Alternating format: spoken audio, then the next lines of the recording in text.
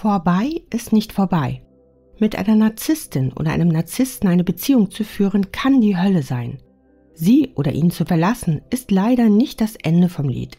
Es fällt schon schwer genug zu erkennen, in welchem diabolischen Beziehungskonstrukt man gefangen ist. Das Gehen und Schlussmachen sind noch einmal zwei völlig andere Paar Schuhe. Ein Narzisst hält sich für den Nabel der Welt. Er hat immer recht, steht über den Dingen und er ist unantastbar.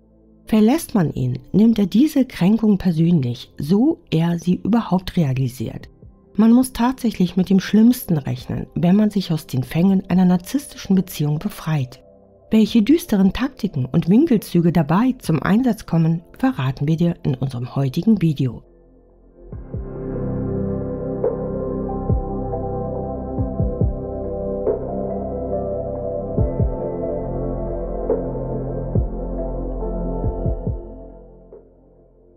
Nummer 1. Er simuliert einen Notfall, eine Krankheit oder eine Krise. Wundere dich nicht, wenn es im Leben eines narzisstischen Partners plötzlich drunter und drüber geht, sobald du sie oder ihn verlassen hast.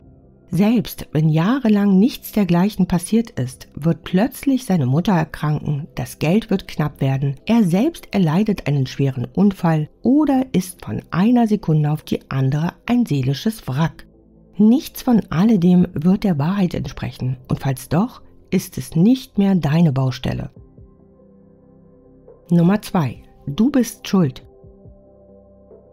Wenn das Zuschieben des schwarzen Peters jemals eine olympische Disziplin werden sollte, haben die Narzissten aller Länder die allerbesten Chancen auf Gold. Sie drehen und wenden jeden nur erdenklichen Sachverhalt so lange, bis das für sie stimmige Ergebnis erzielt wird. Im Falle einer Trennung schaut diese Strategie so aus, dass alles nur deine Schuld ist und sie das ahnungslose, verlassene und betrogene Opfer sind. Nummer 3. Stalking. Dies ist leider einer der Königsdisziplinen von Narzissten und kann gefährliche und lebensbedrohliche Formen annehmen. Immerhin ist das Verfolgen und Terrorisieren von Menschen inzwischen strafbar wenn auch nur wenig dagegen ausgerichtet werden kann.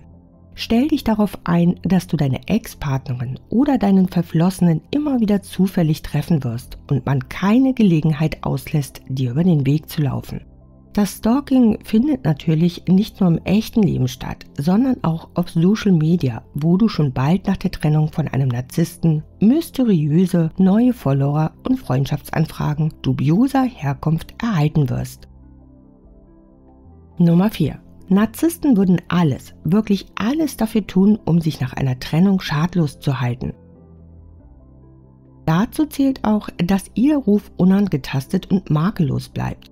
Dafür sorgen sie, indem sie bei gemeinsamen Freunden, Familienmitgliedern und sogar an deinem Arbeitsplatz die wildesten Lügenmärchen und Gerüchte über dich verbreiten. Nummer 5. Besserung geloben und das Blaue vom Himmel versprechen. Dies ist oftmals der erste Schritt, den Narzissten unternehmen, um dich wieder zurück in ihr Spinnennetz zu locken. Sie versprechen dir alles nur, damit du wieder zu ihnen zurückkehrst. Es sollte dich nicht überraschen, aber das sind nur Blendgranaten und leere Worthülsen. Sie können es nicht ertragen zu verlieren und genau das versuchen sie mit ihren scheinheiligen Schwüren wieder auszumerzen.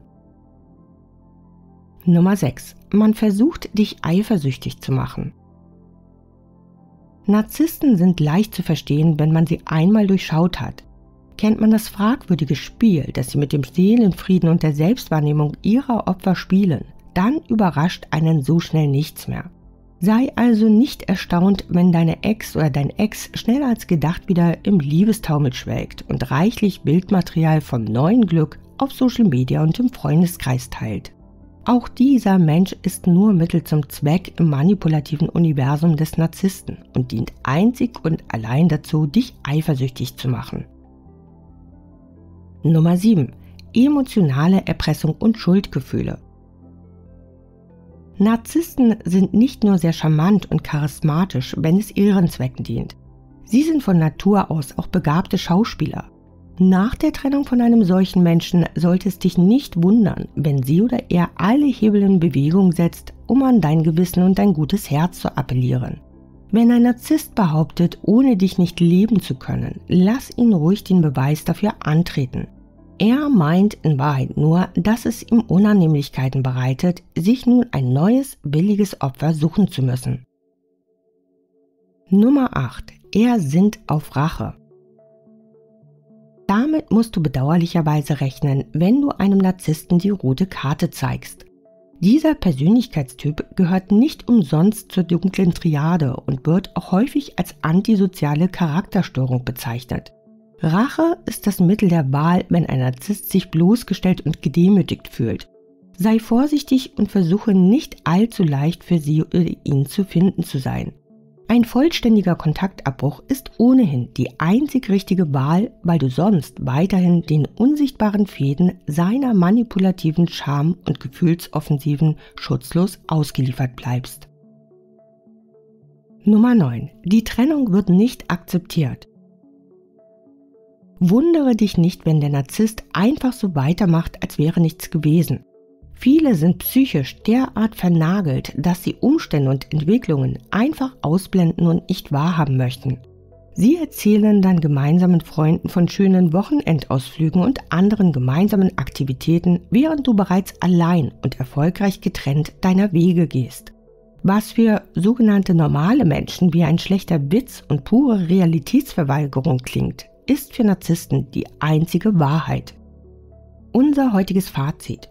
Du hast dich trotz allem richtig entschieden. Zweifle nicht daran, dass deine Entscheidung, die Narzissten zu verlassen, die richtige war. An seiner Seite hättest du weder eine Zukunft noch ein erfülltes Leben. Die Trennung wird man dir trotzdem so schwer wie möglich machen. Betrachte diese Stolpersteine nicht als Argument, um zu bleiben, sondern als offene und ehrliche Kampfansage. Denn genau so ticken Narzissten. Sie haben immer recht, alle anderen liegen immer falsch. Du bist ihr Eigentum, ihre Trophäe und das billige Opfer, mit dem sie jahrelang ihre für sie unterhaltsamen Psychospielchen spielen konnten. Wagst du es, sie zu verlassen, wirst du ihren Zorn zu spüren und ihr wahres Gesicht zu sehen bekommen. Sag Danke für diese Lektion in Sachen Wahrheitsfindung.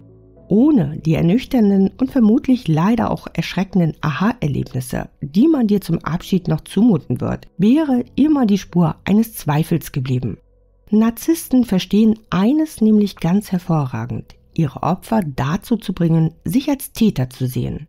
Wenn dir unser heutiges Video gefallen hat, dann schau auch gern auf unserer Homepage vorbei. Dort findest du viele spannende Themen zum Nachlesen. Den Link hierzu findest du in der Videobeschreibung. Das war's für heute. Vielen Dank und bis bald.